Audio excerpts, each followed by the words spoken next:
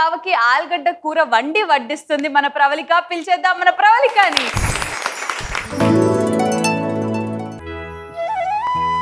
ఓ బావా నేనే కూరొండినా ఒల్లవేందిరా ఒళ్ళవేందిరా?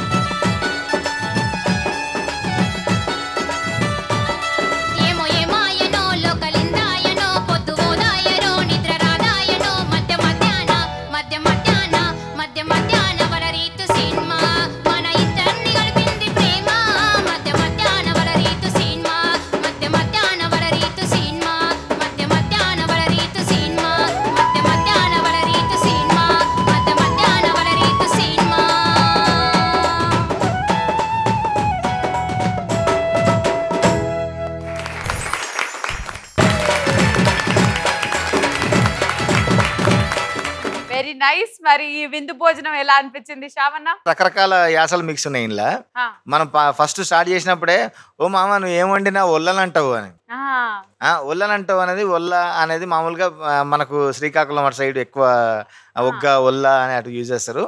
అందుకని ఓహో ఇది ఇక్కడే కాకుంటే ఇది బాగా తిరిగి వచ్చిన పాట ఇది దేశం అంతా తిరిగి వచ్చిన పాట అని అర్థమైంది. ఇంత అందంగా తిట్లలో కూడా వెయ్యారం ఉంటది. ఆలు మొగలు ఆడుకునే ఆటలు అంటాం మనం. పొద్దంతా తిట్టుకుంటారు మళ్ళీ సాయంత్రం అయితే ఒక్క కాడ కూర్చుంటారు.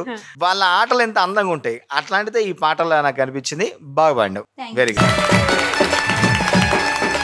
ఇంకో విషయం ఏంటంటే ఇంట్లో సపోర్ట్ లేదు. ఇంట్లో చెప్పకుండా సీక్రెట్గా రిహర్సల్స్ చేసి ఈ రోజు ఈ స్టేజ్ మీదకి వచ్చింది అమ్మాయి.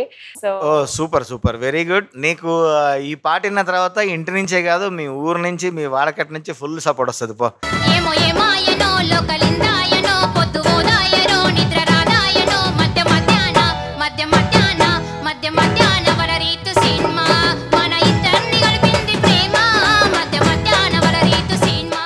మా సపోర్ట్ అంతా నీ అనుకుంది.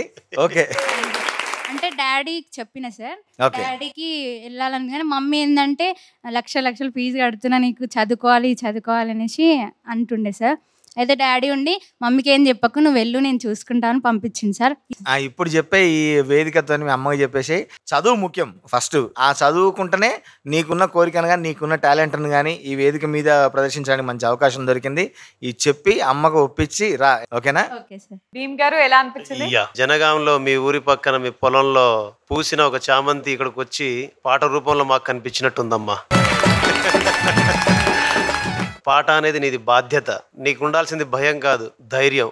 నీకు సపోర్ట్ చేసింది మీ నాన్న కాదు స్వయంగా ఆ దేవుడే. ఒక అమ్మాయి ప్రయత్నం చేస్తే ఎంత డిస్కరేజ్ ఉంటుంది అనేది నాకు తెలుసు. కాబట్టి అలాంటి అవంతరాలన్నింటినీ దాటుకొని ఇక్కడ నుంచి పాట పాడితే ప్రపంచం మొత్తం వినపడుతుంది. పాట ఎక్కడికి వెళ్ళినా వాళ్ళ పిల్లలాగా వాళ్ళ బిడ్డలాగా వాళ్ళు అన్వయించుకుంటారు కాబట్టి గొప్ప పాట పాడ. Good luck